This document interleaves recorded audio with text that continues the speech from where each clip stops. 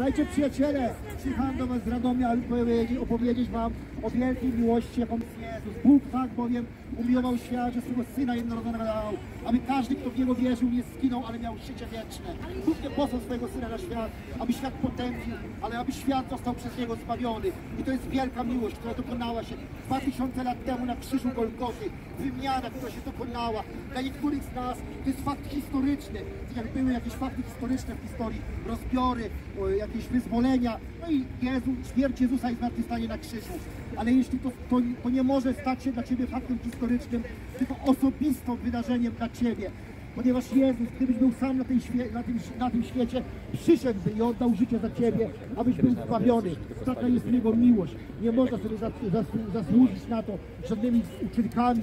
Nie można w żaden sposób sobie zaskarbić to, ponieważ to jest łaska, niezasłużona przychylność Boga dla człowieka, która, chwytamy wiarą, a wiara jest pewnością, przeświadczeniem tego, co nie widzimy, to, czego się spodziewamy, przyjaciele. Także Ty uwierzysz w te proste słowa Ewangelii i przyjmiesz w swoim sercu, zrodzisz się na nowo. W czasach Jezusa był pewien gość, bardzo religijny gość, nazywał się Nikodem i on przyszedł do Jezusa nocą, bo się wstydził swoich braci i on spytał, co mam poczynić, żeby osiągnąć życie wieczne. Jezus mu powiedział, musisz narodzić się na nowo, przyjacielu. I się rodzić na nowo, następuje Boża wymiana.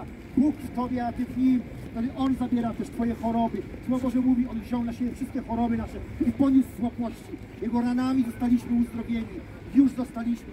Jeśli to uwierzymy, będziemy mieć życie wieczne. Ja, przyjaciele, uwierzyłem dawno temu, 20 lat temu, kiedy byłem, piłem od najmłodszych lat alkohol, byłem totalnie uzależnionym alkoholikiem, piłem dzień w dzień, noc w noc. Po prostu byłem, nie miałem pieniędzy, miałem problem skąd zdobyć 2-5 zł po prostu, żeby się zaprawić, bo się fatalnie czułem po prostu. Apogeum tego było 11 marca 2000 roku. Trafiłem do szpitala, powiedzieli mi, że mam chorą wątrobę i jak nie będę pił do końca roku, to żyję. Więc ja wychodziłem z tego szpitala. Ja chciałem żyć tak, jak Bóg chce, żebym żył. Ja nie znałem żadnej osoby wierzącej, ja więc robiłem to, co miałem w sercu po prostu. Chodziłem do kościoła, do spowiedzi często latałem. Oddawałem to, co komuś ukradłem, po prostu to, co mogłem zrobić, to zrobiłem, ponieważ przygotowywałem się na tą śmierć. Potem nastąpiły pewne rzeczy w moim życiu, odzyskałem dzieci, ponieważ dzieci też miałem zabrane. Miałem młodszego syna w domu dziecka, starszego w rodzinie zastępczej. Odzyskałem swoje dzieci. Trafiłem do piękną wspólnoty takiej katolickiej, która pomogła mi odzyskać te dzieci. Tam spotkałem człowieka, dobrego człowieka, postawionego przez Boga na mojej drodze, który jeździł na spotkania chrześcijańskie, charyzmatyczne do Kościoła Wiary, do Koszalina, do Centrum Chrześcijańskiego Woda Życia w Koszalinie. I tam przeżyłem chrzest Duchu Świętym. Mo- Moc nieba na mnie stąpiła.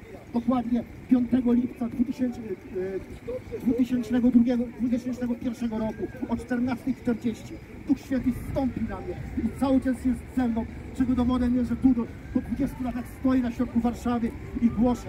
Wiecie, nikt mi za to nie płaci, ja tu nie przyjechałem, z własnej woli, żeby się odwdzięczyć Jemu za to, co dla mnie uczynił, ponieważ On nie zawahał się wstąpić z nieba na tą ziemię i oddać życie zamiast mnie. Dlatego cóż to jest, jak przyjadę, poświęcę mu parę godzin z wdzięcznością, żeby to zrobić, żeby, żeby podziękować mu za to, co zrobił dla mnie, bo bez niego bym był zgubiony. Przyjaciele, zobaczcie, jak ten czas leci szybko. Ty robiłeś 20 lat, teraz masz już ile lat? 10, 20, 30 lat jest moment, nie wiadomo kiedy zlatuje. Za chwilę staniemy przed Bogiem i wtedy się okaże, gdzie spędzimy wieczność. To jest najważniejsze, przyjaciele. Troszczymy się o małe rzeczy, jakieś stopnie w szkole, o to kiedy lepszy samochód sobie kupię, lepszy dom wybuduję, ale to są rzeczy przyziemne. Słowo Boże mówi, szukajcie najpierw Królestwa Bożego i Jego sprawiedliwości, a to będzie wam dodane. On to da wam wtedy, jak będziemy szukać Królestwa Bożego i Jego sprawiedliwości. Przyjaciele, jest życie, jest życie wieczne, jest Jezus, który Cię kocha bardzo i akceptuje, ale to Ty musisz przyjść do Niego. Przyjdź, On Cię kocha i akceptuje, On chce zaopatrzyć Cię również finansowo. Dzisiaj bardzo dobrze stoję finansowo. Mam samochody, które wiele lat zmieniam, mam dzieci, mam swój dom własny wreszcie. Bóg zatroszczył się o każdy aspekt mojego życia, bo On jest ze mną. On powiedział, nigdy Cię nie opuszcza, nie zostawi. Kiedy to jest nigdy? Nigdy to jest nigdy. Choćby Cię ojciec matka zostawili, On Cię nigdy nie opuszcza, nie zostawi. Taka jest Jego miłość, przyjaciele. Taki jest On. I On jest ten sam, wczoraj, dzisiaj i na wieki. Gdy oglądaliście, ja kiedyś oglądałem film Jezus z Nazaretu i to zmieniło moje życie.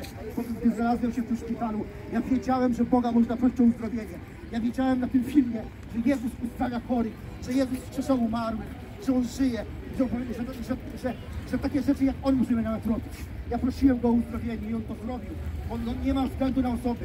On pomoże i Tobie, przyjacielu. Przyjdź do Niego, przyjdź już dzisiaj, pomodlimy się na Ciebie, ułożymy ręce, może potrzebujesz uzdrowienia. Nie myśl sobie, że to jest jakaś inna wiara.